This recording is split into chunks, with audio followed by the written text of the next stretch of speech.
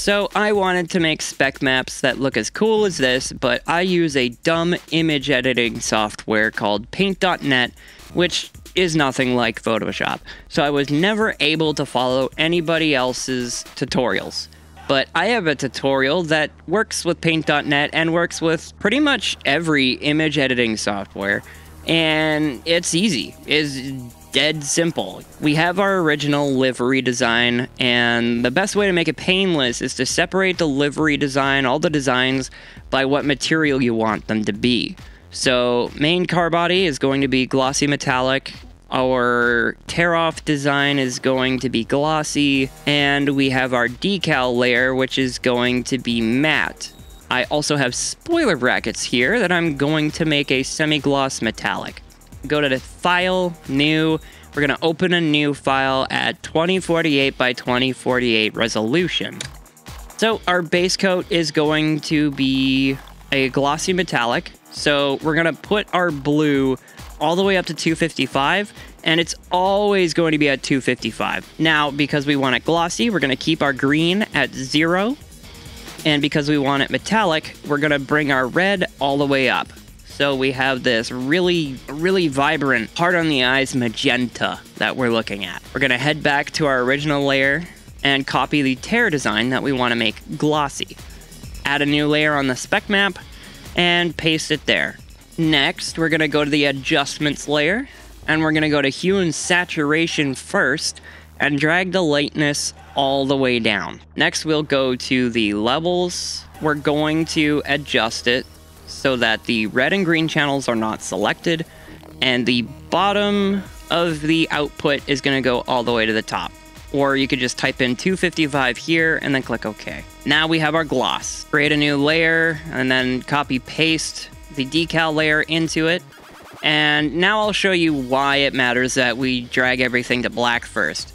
As you can see, if I just adjust the levels, you can see everything is a different color. So the hair is a different color, the mouth is a different color, the tongue is a different color, and the beak is a different color.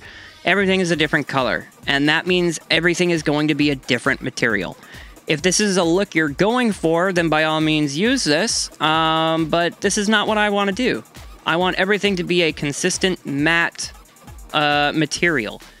So hue, saturation, lightness all the way down, and then back to levels and make them all blue. I don't want them to be fully matte because that doesn't always look the greatest.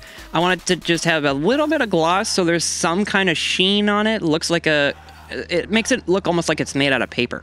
I'm to grab a paintbrush tool. I'm to get rid of the red channel because it's not to be metallic.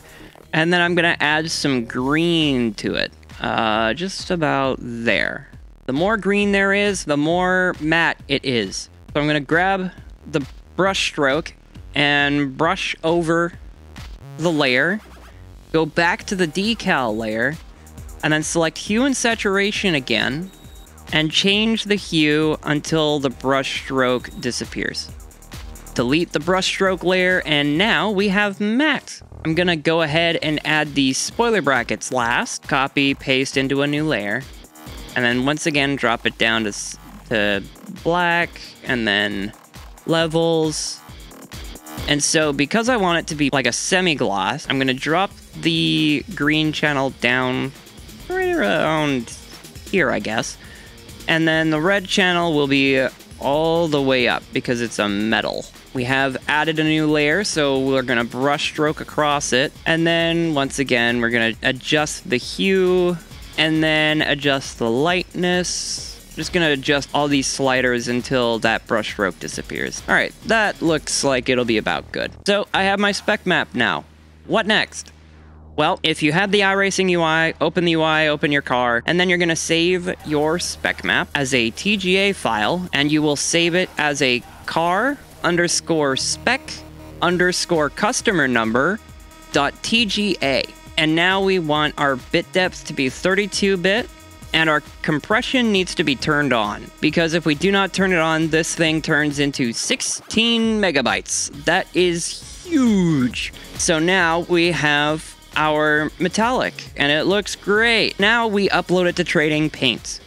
We're going to select a paint file and we're going to select the TGA of our livery. So that'll be car underscore your customer number. We're going to click this button here to add a spec map.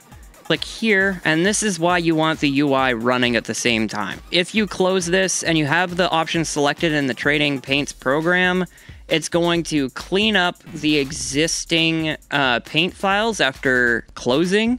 So this MIP isn't going to be in your files. So we have our iRacing UI running, and here we have our MIP for the Mustang. Gonna upload that, fill out all the other information, and then upload to my paints. And you are now running a very gorgeous Mustang out on track, or whatever car you're doing. Very simple, very easy. Hope I made it made sense.